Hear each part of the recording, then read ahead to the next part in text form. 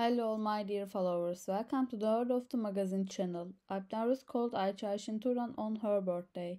All the details are in this video. Don't forget to subscribe to our channel and like our video before moving on to our news.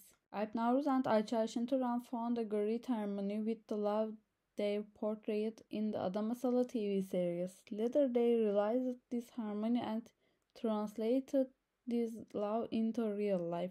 Unfortunately, the couple is love lasted eight months. The couple broke up. It was alleged that Alp Navruz had cheated on Ayça Turan.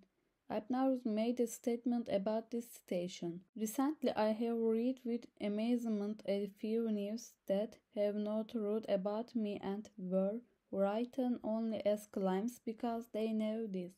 The broadcast was carried out by malicious people with such hearsay news one after another.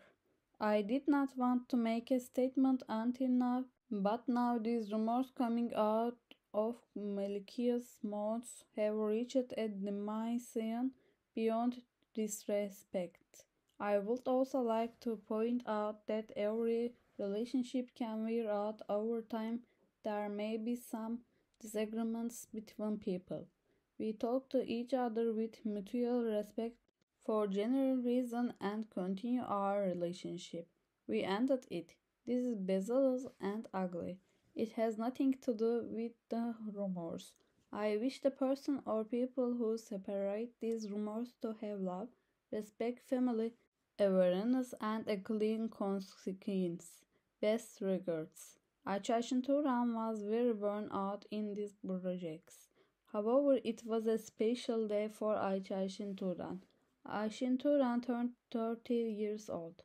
The beautiful actress celebrated her 30th birthday say, saying, Welcome 30.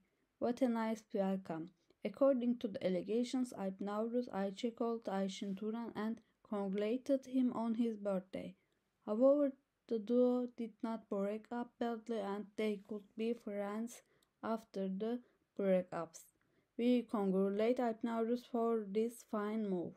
We have come to the end of our video. Thank you all for watching my video. Bye. I love you.